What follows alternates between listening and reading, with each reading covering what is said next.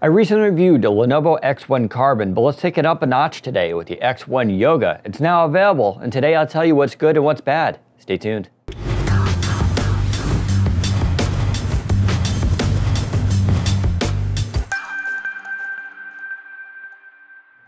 So before we get started, let me talk a little bit about the Yoga. This is the third generation version versus the Carbon, which is now in its sixth generation. And these are basically sister devices. And what's really cool here is years ago when convertibles came out, there was a huge choice you had to make. You get the convertible, but you had to sacrifice a lot of performance and features, or you can get the non-convertible and get all the cool stuff.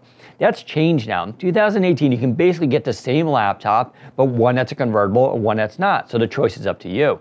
And that's kind of what we have here. Now there are some subtle differences and I'll go over those at the end of the video if you have to choose between the Carbon and the Yoga. But let's get into the Yoga's feature set and see what's new.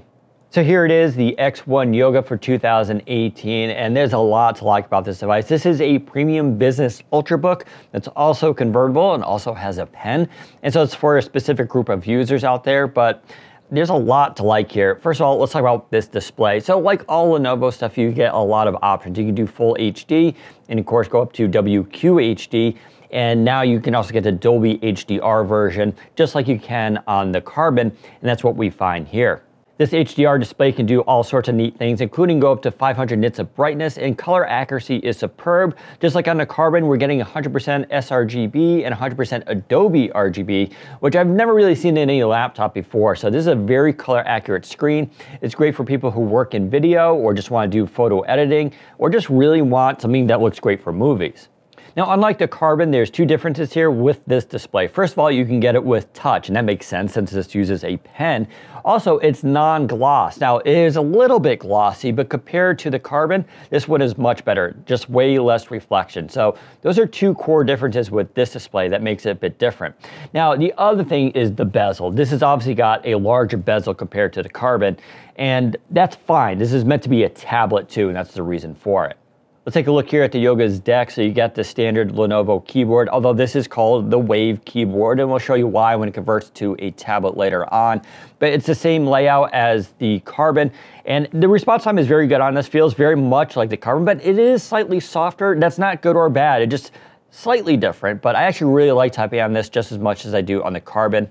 Coming down to the trackpad area, you do have a slightly larger trackpad compared to the Carbon, and that's because it's just got a wider footprint here. You also have the buttons here for the trackpoint system. This is a full precision touchpad, so it's very good. Again, nice soft click. I really like what Lenovo has done here with their trackpad. Pure precision drivers, no more synaptics, very good.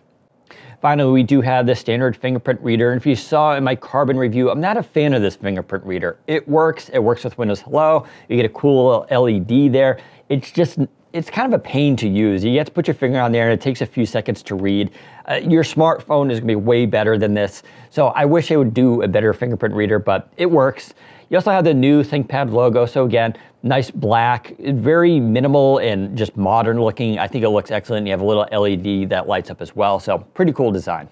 Coming to the exterior of the device, and you still get that deep, deep black that uh, Lenovo is really known for, the ThinkPad line. Again, new logo system looks really excellent here.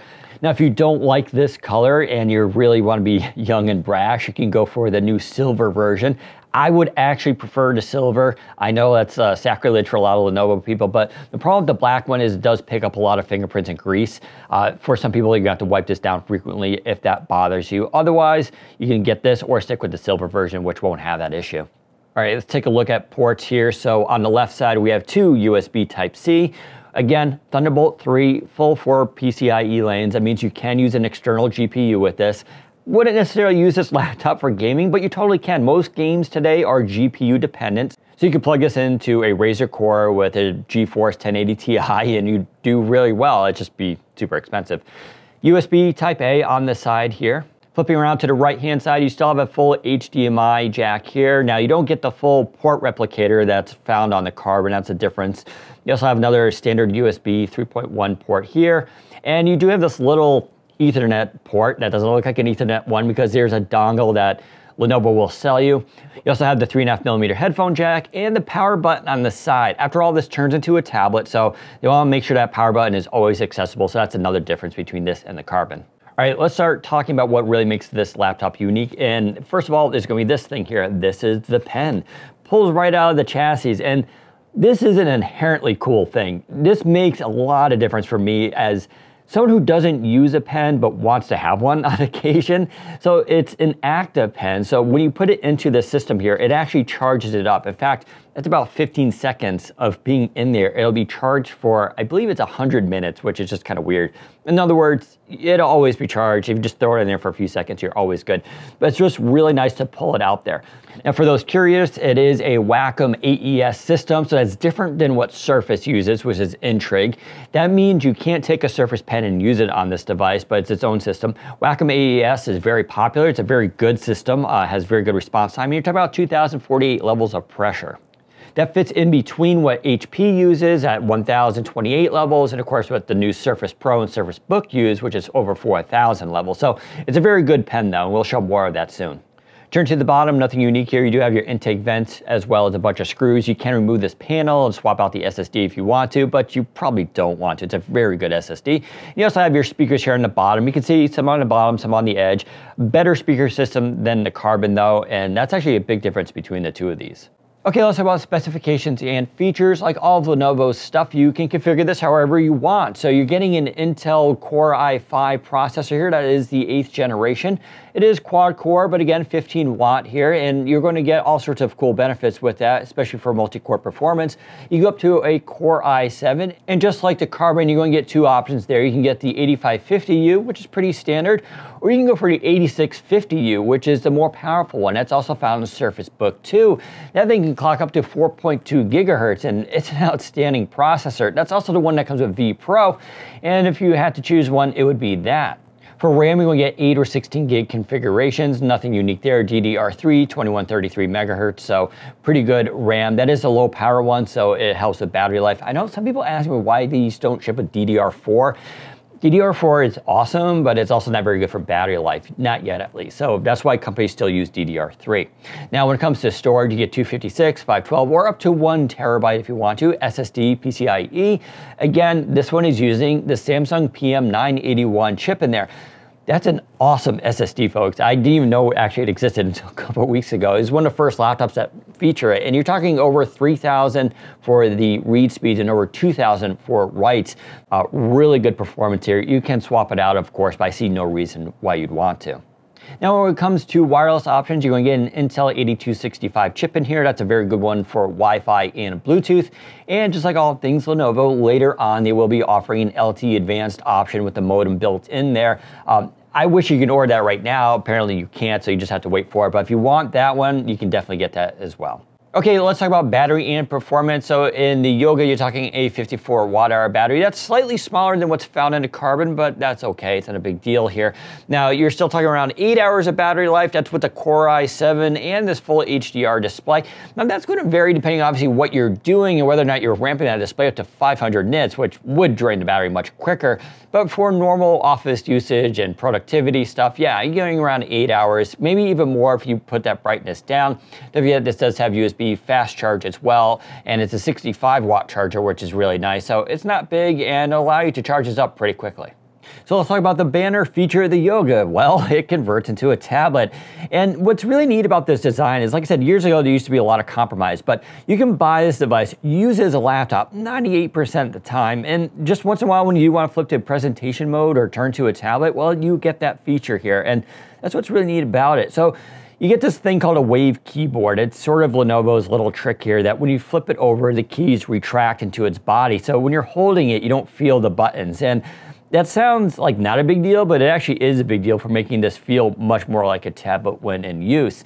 Now, of course, you also get that pen. Now, this pen is pretty small and it's not something you want to use long term. And if you're an artist, you probably don't want to use it either. But you're going to use it to say highlight stuff in a document or sign a document, it is awesome to have. I really like it. And don't forget, it is Wacom AES, so you can buy Lenovo's bigger pen to carry around with you, or use the Wacom Bamboo ink pen that's available now as well, and that works totally well. You just would have to carry it separately, just no way you can attach, so trade off.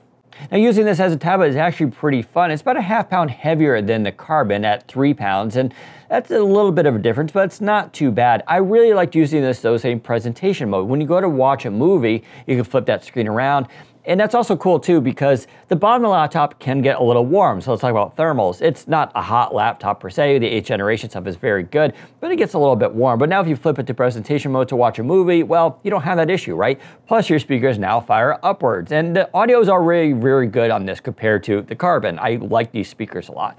All right, buying decision time. If you had to buy one, the Carbon or the Yoga, which would it be? Surprisingly, I'm gonna go with the Yoga. And the reason I say surprisingly is I'm not really into convertible devices. They're cool, they're neat, but I'm totally fine with the standard laptop. Even Surface Book 2, which I love, is something I just keep as laptop almost all the time. Having said that, there's some real benefits to the Yoga over the Carbon. For instance, the display is more anti-glare, and to me that's actually a big deal. It's also, of course, touch, and you can't get the HDR version in touch for some reason on the Carbon. Now, I'm not a huge pen user myself, but having this little thing built into the side of the device, it's super cool. When I want to sign a document quickly or just highlight something or even just draw, it's just nice to have, and I don't feel like you're compromising anything by having it built in. The keyboard deck is also larger. You get a little bit more room here for your palms. And again, that's a comfort issue. I find typing on this just a little bit better because I have more room for my wrists. You also get a slightly larger trackpad. And again, that's a nice difference to have. I would rather have a larger trackpad than not. Now, I would be totally fine getting rid of the track point system and making it even larger without those buttons, but I won't touch that one. I know a lot of you will revolt against it. Still though, overall, this is a better device. Now, it is heavier and it's slightly more expensive. So this starts around $1,400, $1,450. That's for the Core i5 and 256. Um, for the HDR display, it's an extra $180. But I think if you had to choose one, you'd get much more longevity out of this device. And if I had to pick one myself, I'd probably configure it as the silver with the Core i7 and I'd wait for that LTE model. That's me. I may actually order that though. This is just a really cool device. I think you get a lot of longevity out of it. So there's a quick look at the new X1 Yoga third generation. Now, if you have any questions about this device, leave them in the comments below. If you want more information, you can find it in the description, or you can also find my full review at Windows Central. If you like this video, give us a thumbs up, and don't forget to subscribe. Thanks for watching. Take care, everybody.